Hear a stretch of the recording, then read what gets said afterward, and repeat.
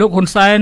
បានប្រកាសបិទព្រឹត្តិការណ៍3វិច្ឆិកាដោយជោគជ័យព្រោះស្ថានភាពនៃការរីករាលដាលនៃវីរុស COVID-19 បានធូរស្បើយជាបន្តបន្ទាប់ខណៈរដ្ឋាភិបាលប្រទេសកម្ពុជាអាចគ្រប់គ្រងបានទាំងស្រុងដោយមិនមានការធ្វេសប្រហែសនាំឲ្យប៉ះពាល់ដល់អាយុជីវិតប្រជាពលរដ្ឋឬមន្ត្រីរាជការណាម្នាក់ ពីការកម្រើកជាថ្មីនៃវីរុសនេះឡើយលើកឡើងក្នុងខ្សែអត្ថសម្លេងដែលមានរយៈពេលជាង6នាទីកាលពីយប់ថ្ងៃទី18វិច្ឆិកានេះប្រមុខរដ្ឋាភិបាលប្រទេសកម្ពុជាលោកហ៊ុនសែនបានបញ្ជាឲ្យរដ្ឋមន្ត្រីក្រសួងពាក់ព័ន្ធនានាក្នុងនោះមានរដ្ឋមន្ត្រីក្រសួងអប់រំជាដើមបើកគ្រឹះស្ថានអប់រំក្នុងរាជធានីភ្នំពេញដែលបានបិទក្រោយព្រឹត្តិការណ៍3វិច្ឆិកានិងឲ្យបើកឡើងវិញនៅថ្ងៃ23 ខែវិច្ឆិកាខាងមុខនេះលោកក៏បានអនុញ្ញាតឲ្យបើក Start Olympic សារមន្ទីរនិងរោងភាពយន្តទាំងអស់ឲ្យដំណើរការឡើងវិញប៉ុន្តែត្រូវអនុវត្តវិធានសុវត្ថិភាពឲ្យបានត្រឹមត្រូវនិងម៉ត់ចត់ជាទីបំផុតក្នុងការរក្សាគម្លាតសុវត្ថិភាពពេលជួបជុំគ្នានិងសុវត្ថិភាពបុគ្គលតាមការណែនាំរបស់ក្រសួងសុខាភិបាលលោកហ៊ុនសែនបញ្ជាក់ថាអាជ្ញាធរមូលដ្ឋានទាំងអស់ត្រូវបើកទូលាយ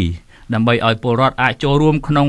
ពិធីសាសនា ពិធីបុណ្យទាននិងកម្មវិធីអាពាហ៍ពិពាហ៍ជាលក្ខណៈប្រពៃណីដូចធម្មតាឡើងវិញផងដែរប៉ុន្តែពួកគេត្រូវគោរពតាមការហាមប្រាមនិងសេចក្តីណែនាំពីក្រសួងសុខាភិបាលដែលបានប្រកាសមុនព្រឹត្តិការណ៍3វិច្ឆិកាដដែលទោះជាយ៉ាងណាក៏ដោយលោកហ៊ុនសែនព្រមានថាមន្ត្រីអាជ្ញាធរដែលមានបងប្អូនកំពុងធ្វើចតល័យស័កដែលមិនទាន់ដល់ថ្ងៃត្រូវបញ្ចប់ត្រូវណែនាំពួកគេបន្តធ្វើចតល័យស័កឲ្យបានត្រឹមត្រូវ បើមិនដូច្នោះទេនឹងត្រូវប្រឈមការធ្វើចតល័យស័កឡើងវិញព្រោះក្រសួងសុខាភិបាលបានកំណត់រយៈពេល14ថ្ងៃគឺចាប់ពីថ្ងៃយកសំណាក់ដំបូងមកធ្វើតេស្តការប្រកាសបញ្ចប់ព្រឹត្តិការណ៍3វិច្ឆិកានេះធ្វើឡើងក្រោយក្រសួងសុខាភិបាលកម្ពុជាអាចគ្រប់គ្រងបានទាំងស្រុងអ្នកដែលបានពាក់ព័ន្ធនឹងព្រឹត្តិការណ៍នេះព្រមទាំងបានយកមកធ្វើតេស្តវត្ថុសំណាកនិងបានធ្វើចតល័យស័កទៅតាមលក្ខខណ្ឌយ៉ាងត្រឹមត្រូវជាទីបំផុត ពាក់ព័ន្ធនឹងបញ្ហានេះក្រសួងសុខាភិបាលអះអាងថាក្រសួងនឹងបញ្ចប់ការធ្វើតេស្ត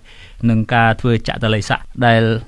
អ្នកដែលប៉ះពាល់ក្នុងព្រឹត្តិការណ៍3វិច្ឆិកាដោយផ្ទាល់និងដោយប្រយោលនៅថ្ងៃទី25ខែវិច្ឆិកាខាងមុខនេះ ក្រសួងបានបញ្ជាក់ថាអ្នកដែលបានប៉ះពាល់ដោយផ្ទាល់និងដោយប្រយោលក្នុងព្រឹត្តិការណ៍3វិច្ឆិកាមានចំនួនប្រមាណជាង3000នាក់ក្នុងនោះមានអ្នកជាសះស្បើយនិងអ្នកដែលកំពុងរងចាំធ្វើតេស្តនិងធ្វើចាក់តល័យស័កជាបន្តបន្ទាប់ក្នុងសេចក្តីប្រកាសព័ត៌មាននៅថ្ងៃទី19វិច្ឆិកានេះក្រសួងបញ្ជាក់ថាអ្នកដែលបានប៉ះពាល់ដោយផ្ទាល់និងដោយប្រយោលក្នុងព្រឹត្តិការណ៍នោះគឺស្ថិតក្នុងរាជធានីខេត្តចំនួន11មានរាជធានីភ្នំពេញខេត្តកណ្ដាលខេត្តព្រៃវែងខេត្តពោធិ៍សាត់កំពង់ធំ ខេត្តកំពង់ឆ្នាំងខេត្តកែបខេត្តប្រសេនុខេត្តកំពង់ចាមខេត្តព្រះវិហារនិងរតនគិរីដោយឡែកជនជាតិហុងគ្រីចំនួន3នាក់រួមបញ្ចូលនឹងអគ្គឯកអគ្គរដ្ឋទូតហុងគ្រីផងដែរដែលបានរកឃើញវិជ្ជមានវីរុស COVID-19 ហើយកំពុងសម្រាប់ព្យាបាលនៅមន្ទីរពេទ្យមិត្តភាពខ្មែរសូវៀតដើម្បីតាមដានសុខភាពជាបន្តពាក់ព័ន្ធនឹងការបិទព្រឹត្តិការណ៍3វិច្ឆិកានៅថ្ងៃទី19វិច្ឆិកានេះលោកហ៊ុនសែនបានបញ្ជាក់ថាលទ្ធផលនៃការធ្វើតេស្តលើកទី4របស់លោកនិងក្រុមគ្រួសារព្រមទាំងអ្នកពាក់ព័ន្ធ